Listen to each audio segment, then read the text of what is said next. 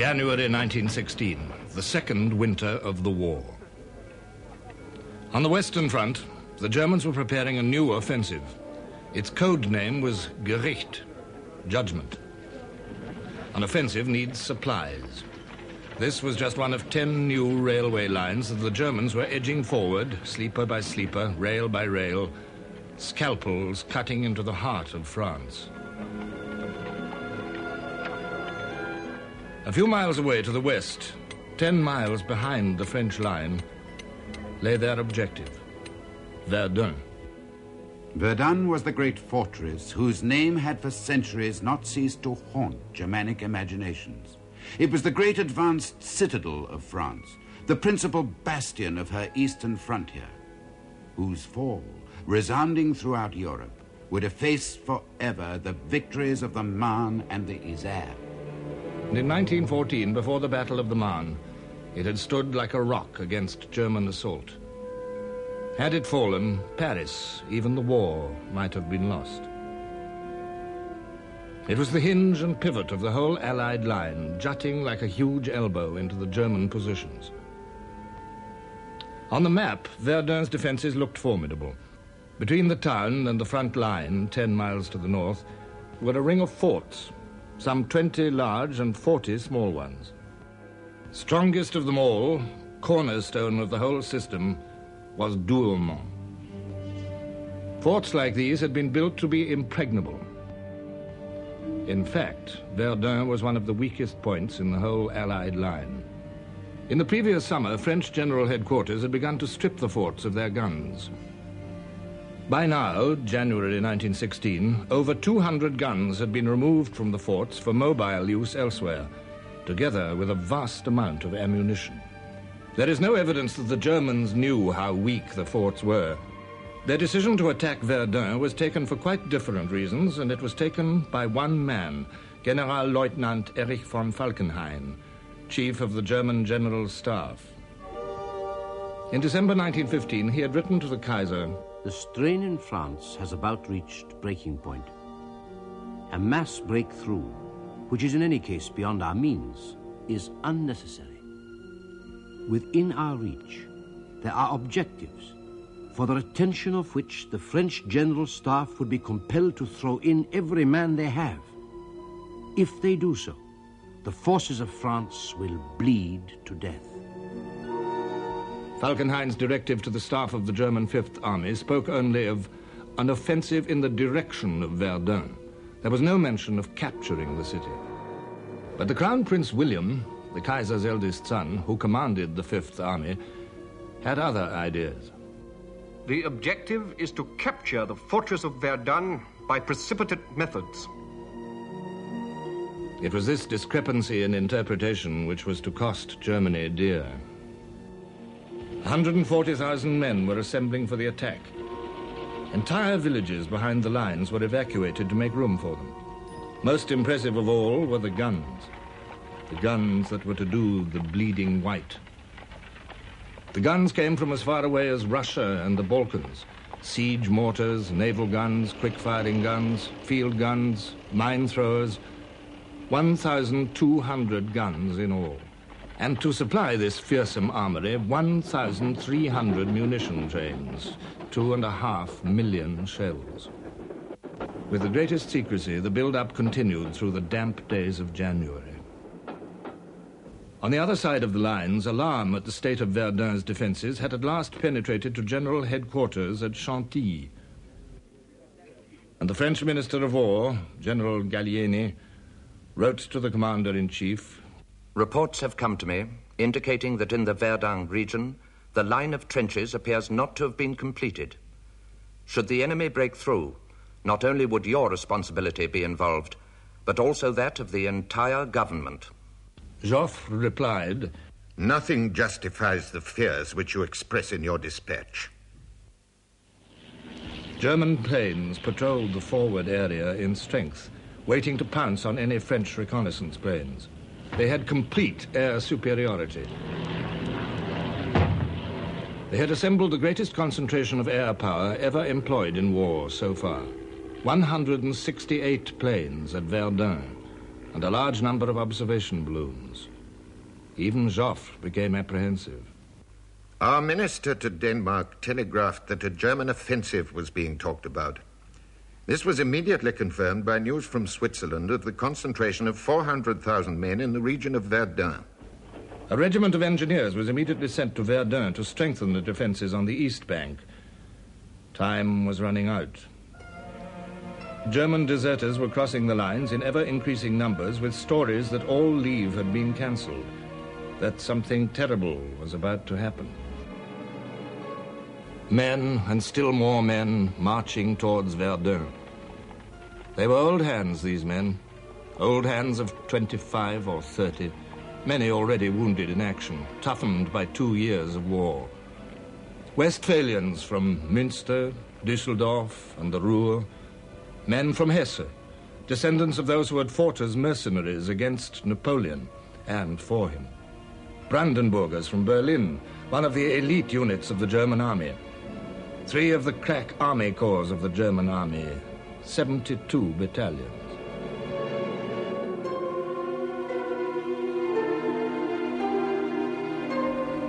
Their wait was a fearful one. On February the 11th, the day before the attack, Verdun's treacherous climate came to the aid of the French. The attack was postponed. It gave the French a little time to improve their defenses, to settle in two new divisions that had just arrived. These men, like the Germans, were veterans, young men grown old before their time. Poilus, the French public called them, the hairy ones. It was a nickname they disliked. Few of them fought any longer for such noble aims as the recovery of Alsace and Lorraine.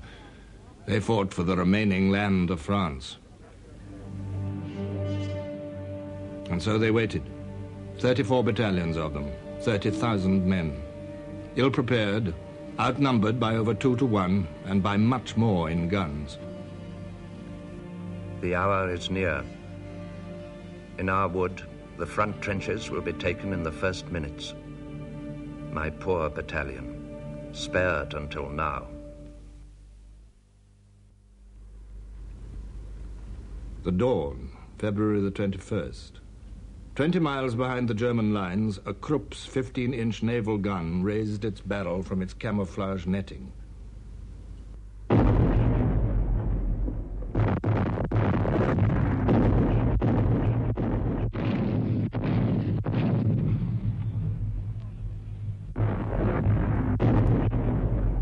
For three hours, the German heavy guns ranged on Verdun itself.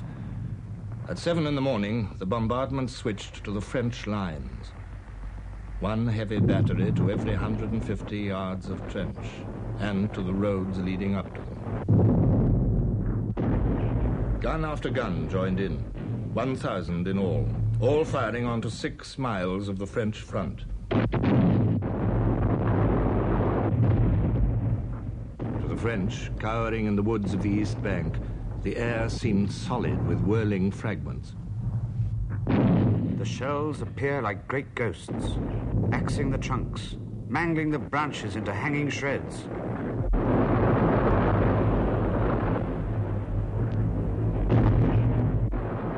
The crude iron of the shells shattered into huge ragged chunks that sometimes two men would be unable to lift.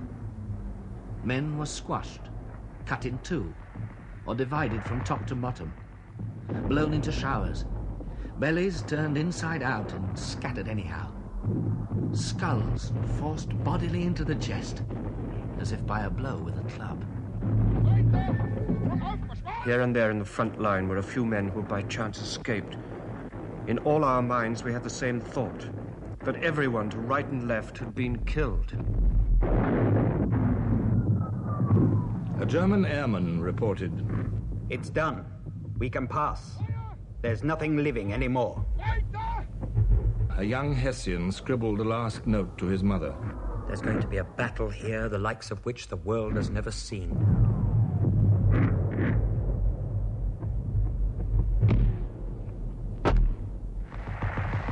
The Germans had eight miles to go. Their fighting patrols slipped forward like a dentist's probe.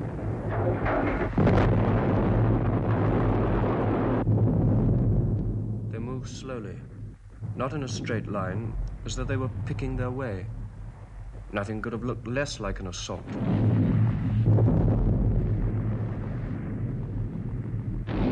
Some of the Germans had containers strapped to their backs. They seemed like laborers going to spray the vines.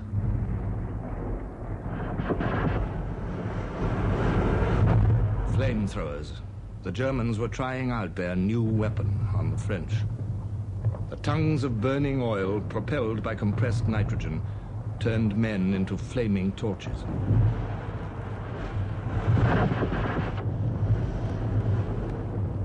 On the second day came the assault troops to exploit the gaps found by the fighting patrols.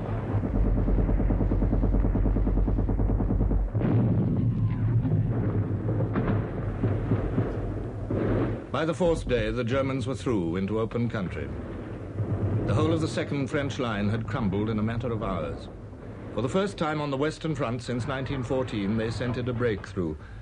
Few trenches faced them, not much barbed wire, open country ahead. And they had taken 10,000 prisoners. They give one the impression of complete breakdown and complain loudly of their senior commanders. Even Joffre was shaken out of his accustomed calm.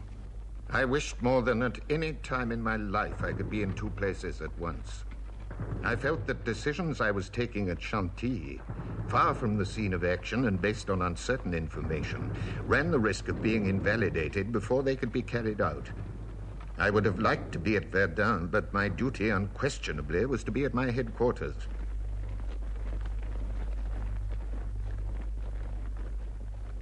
The Kaiser was certain that Verdun was about to fall. He came up to watch the kill through a well protected periscope. Would the front hold? By nightfall on February the 25th, only the forts and a few brave men barred the Germans' way. Fort Douaumont, its tortoise hump dominated the battlefield.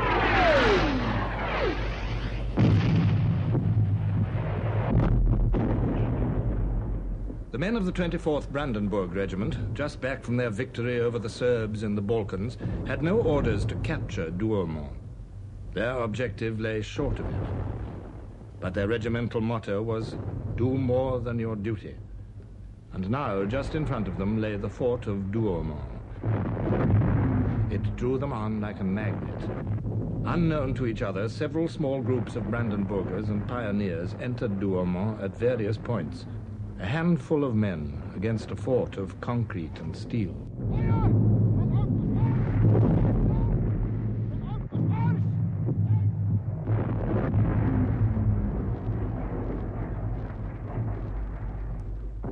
The Germans were astounded to find the fort was garrisoned by 56 elderly territorial gunners under the command of a sergeant major.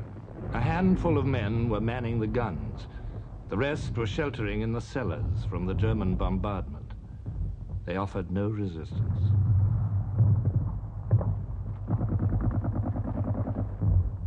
Fort Douaumont, the world's most powerful stronghold, had fallen without a shot being fired. In Germany, there was jubilation, and the Crown Prince himself decorated the victors, the brave Brandenburgers. But in France, not surprisingly, the disaster of Douaumont was played right down by French General Headquarters. The crowds of worshippers in Paris on that Sunday morning, February the 27th, were to find their newspapers full of evasions.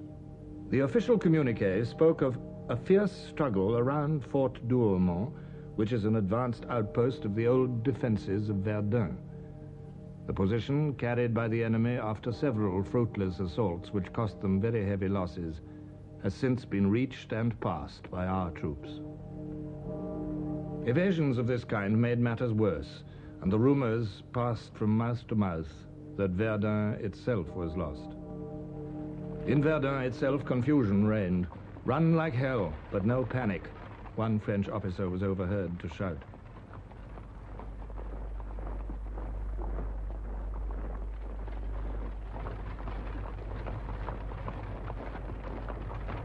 The Germans were only five miles away. There was one more ridge between them and the city. Could Verdun be held? De Castelnau thought it could be, and to carry out his will, he had persuaded Joffre to appoint General Pétain as commander of the Verdun army. Pétain, the peasant from northern France, had begun the war as a colonel due for retirement. Now, 18 months later, he was an army commander. French soldiers had heard the stories told of Pétain.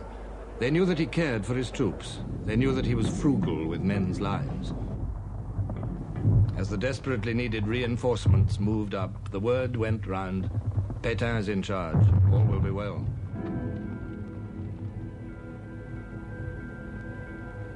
Conserve your strength. The counter-offensive will follow, Pétain told his commanders.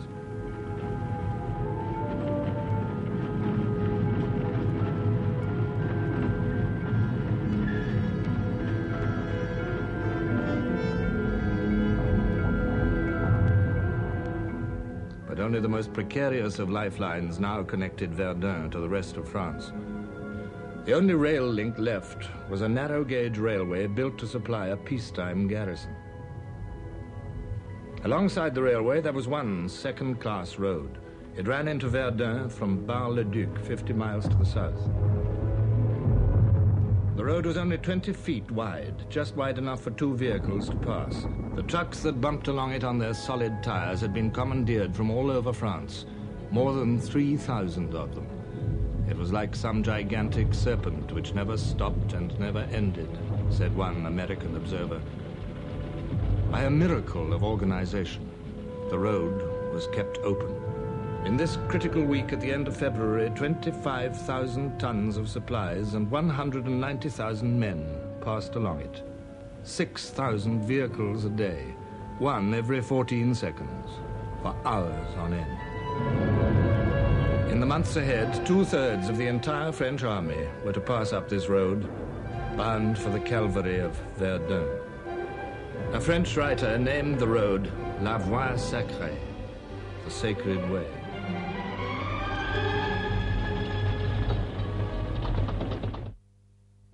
Now, in the lengthening days of March, the Germans extended their attacks to the west bank of the Meuse and to a hill with the sinister name of Mort Homme, Dead Man.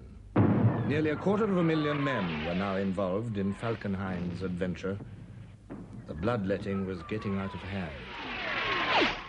Our blinded, wounded, crawling and shouting soldiers kept falling on top of us and died while splashing us with their blood. It was a living hell. Verdun is terrible because a man is fighting against material with the sensation of striking out at empty air. Oh, how I envy those who can charge with a bayonet instead of waiting to be buried by a shell. By the end of March, after 40 days fighting, the Germans had lost about 80,000 men, the French a few thousand more. The casualty gap was narrow.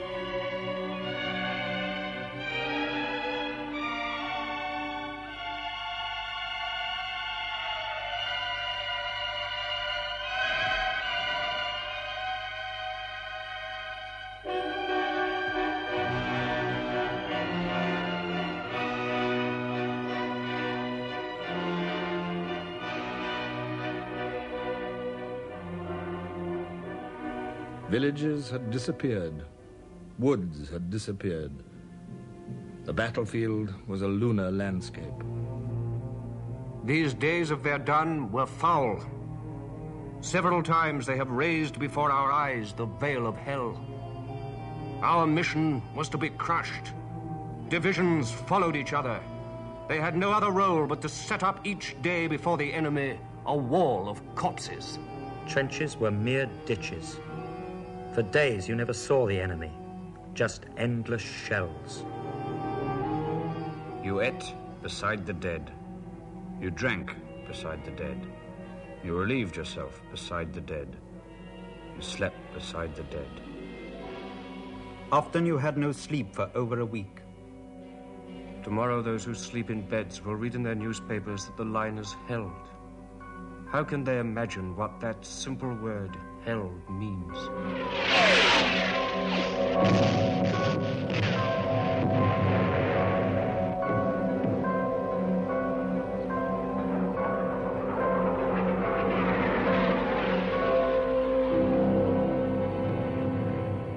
In the line, men often went for days without food, for the ration parties were frequently killed on the six-mile slog through the mud to the front positions. Even out of the line, the rations weren't much to write home about.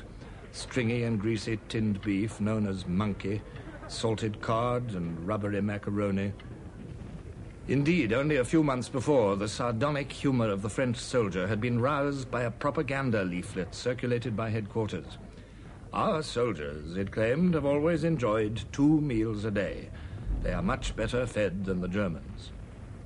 The soldiers had disagreed. 200,000 of them had written to protest. But at least the rations were free, and so was the wine ration, pinard, the rough red wine beloved by the French soldier. Pinard, which made up a little for the miserable pay, five sous a day, nearly twopence halfpenny. Pinard, which gave a man courage to forget the present. For the only real enemy now was the battle itself.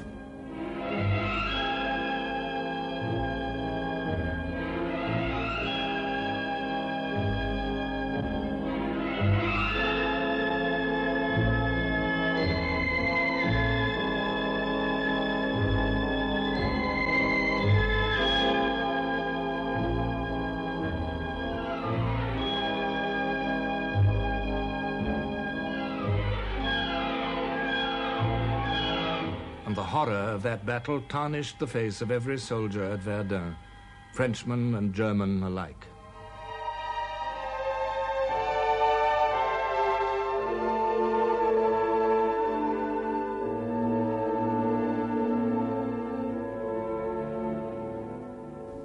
By the end of April, after 70 days fighting, the Germans had lost 120,000 men. The French had lost 133,000. General Pétain's reinforcements poured endlessly up the sacred way. My heart leapt as I saw our young men of 20 going into the furnace of Verdun. Jolted about in their uncomfortable trucks or bowed by the weight of their equipment, they encouraged one another by their jokes and by their songs.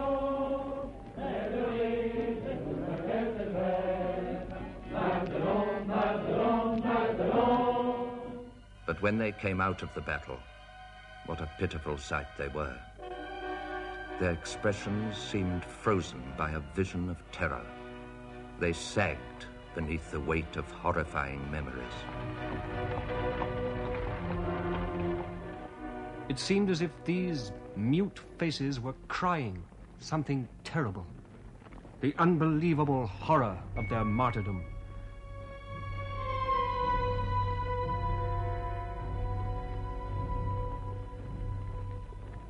Pétain's demands for troops displeased Joffre. Had I yielded to all his demands for reinforcements, the whole French army would have been absorbed in the battle. He was well aware that I was trying to collect the largest possible number of divisions for the Somme offensive. So, in May, Pétain was succeeded by General Robert Nivelle, an out and out apostle of the offensive, a man of boundless ambition and self confidence. Nivelle was told that he could expect no more fresh troops. No matter, he said, we have the formula. The formula included his right hand man, the toughest general in the whole French army, Charles Mangin. Mangin's motto was fight to the limit. The French had by now gained their superiority over the battlefield. Aerial tactics were becoming more and more sophisticated. Both sides sent their greatest aces to Verdun. The Germans had Oswald Boelcke, and von Richthofen, the deadliest of them all, was blooded here. The French threw in their famous Storks group, including such legendary figures as Guynemer,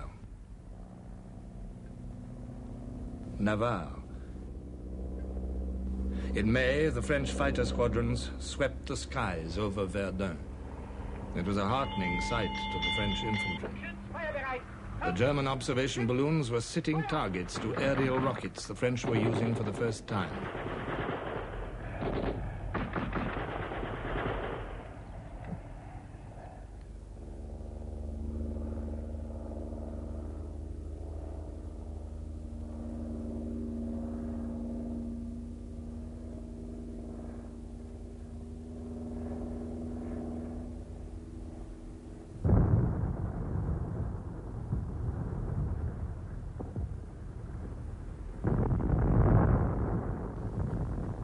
Now it was the French turn to attack.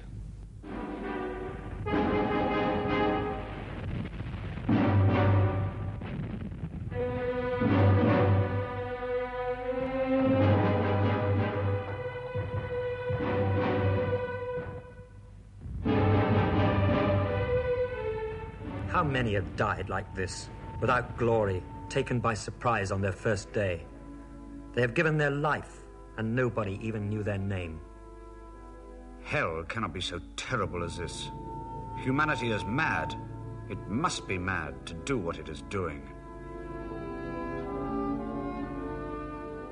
One begins to ask oneself, where is victory? And whether it might not lie in any kind of peace which would at least save the race. An artery of French blood was cut on February 21st, and it flows incessantly in large spurts.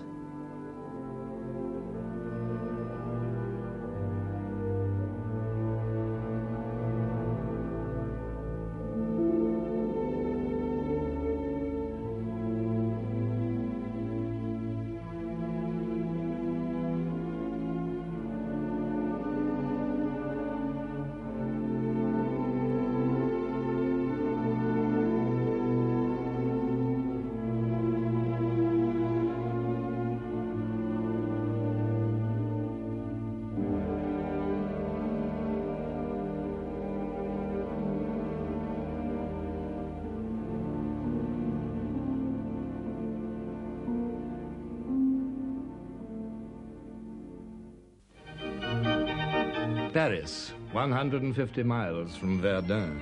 Another country, another world. Paris, still gay, still pleasure seeking after two years of war. The music halls were full every night. Tipperary and the Roses of Picardy were favorites imported by the British. The theaters, closed in 1914, had reopened. Mistinguett danced to huge crowds.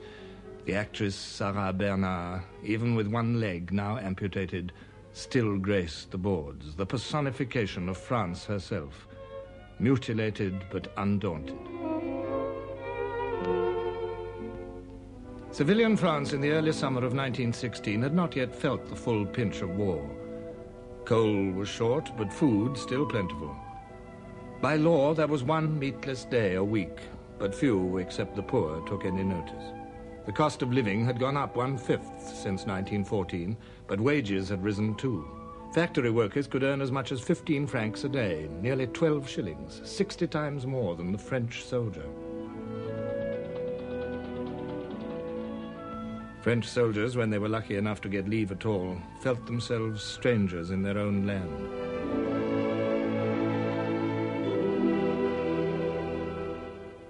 Life is good. One can understand these people resigning themselves to the war. It's consoling to know that if one perishes in the barbed wire, they will not be too much affected by the loss. Paris was full of embusqués, the shirkers, and the armchair warriors and the profiteers who had made a packet out of the war. I met a lot of them on my last leave. The fat, shining swine. They take their aperitifs and they read their papers. That's about the only way they have of knowing what's going on in the war. So many lies have been spread about us that I have many times seen the troops tear up the newspapers. Phrases like, our gallant wounded, vivid armchair descriptions of the enthusiastic ardor of combat. Cant like this enraged the men who knew what it was like. They were getting a little tired of medals. Heroics were all very well for the cartoonists. Sentimentality might bring comfort to the folks at home, but this kind of glorification sickened the men who had faced the reality of death at Verdun. And the newspapers of the world agreed. As ye shall sow, so shall ye reap, read this American cartoon. The Crown Prince, too, came in for his share of blame. Father, we must have a higher pile of bodies at Verdun, read the caption to this in the Daily Mail. But Crown Prince William no longer believed the city could be taken. I was absolutely opposed to continuing the attack. I was now convinced, after the stubborn to and fro contest for every foot of ground, that a decisive success at Verdun could only be assured at the price of heavy sacrifices, out of all proportion to the desired gains. Yet I had to obey the orders of General Headquarters. And as May drew to a close, a new attack was ordered. Sledgehammer blows to blast in the gateway to the fortress, once and for all.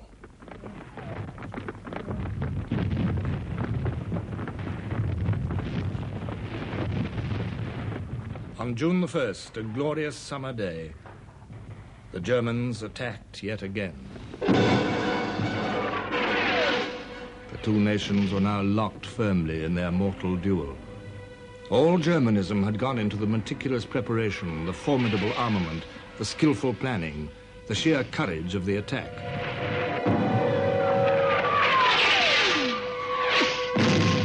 All French nature had gone into the lack of preparation, the casual assurance, the panics, and the brave resistance. To Lloyd George, the British Minister of Munitions, Verdun seemed one of the most gigantic, tenacious, grim, futile, and bloody fights ever waged in the history of the war. On those heights, Gaul and Teuton fought out a racial feud which had existed for thousands of years. The concentrated fury of ages raged and tore, shattered and killed in one intensive struggle which has no parallel in the history of human savagery.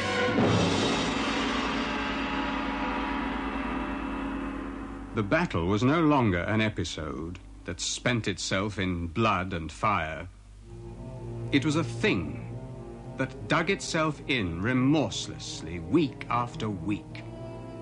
They breathed in the smell of a tormented world a smell like that of a planet in the process of being reduced to ashes. Most of them had given up all hope of surviving. I saw a man drinking from a scum-covered green marsh where a dead man lay, his black face downward in the water, lying on his stomach and swollen as if he'd not stopped filling himself with water for days.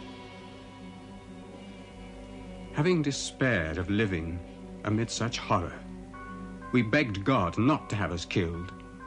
The transition is too atrocious, but just to let us be dead.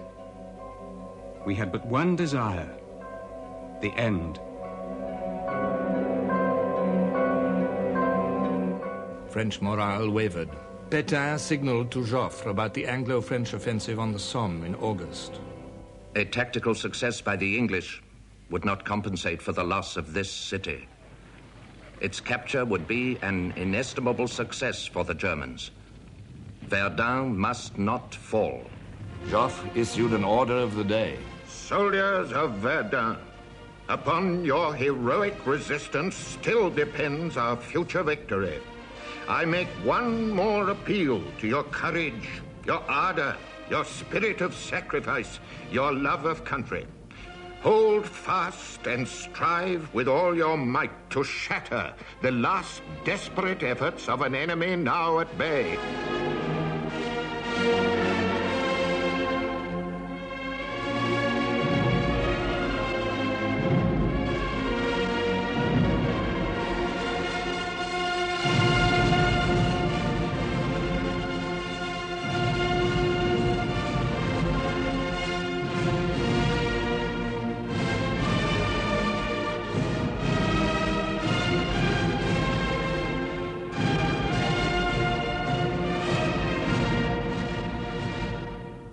Turning point came on June the 23rd. On that day, the Germans penetrated to within two and a half miles of Verdun itself. It was the moment of supreme crisis. Pétain warned General Headquarters that he might have to withdraw from the East Bank. General Nivelle issued a dramatic order of the day. It ended with words which were to ring round the world. You will not let them pass.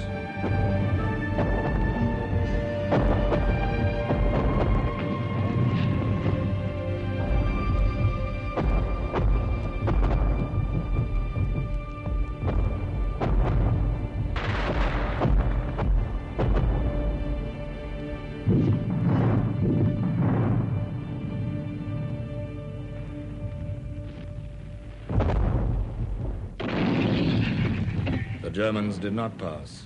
They had shot their bolt. They had no more to spare. Three precious divisions had been taken away from the Crown Prince to bolster up the Austrians against a furious Russian attack. And on June the 24th, the French troops heard the first rumble of the British bombardment away to the north on the Somme. Joffre's plans for a combined Allied offensive were coming to pass.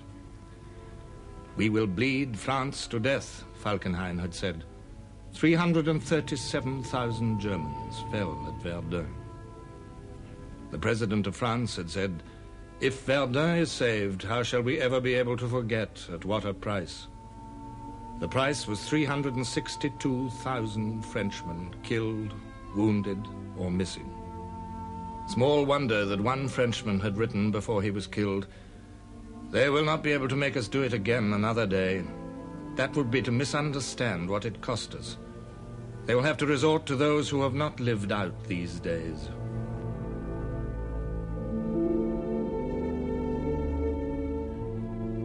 Among these motionless bodies, two things moving. One crawls crying towards the ditch. A man with his legs shattered, the sole survivor. And in the other direction, a small barrel of wine rolls slowly down the road, stopping against a dead body.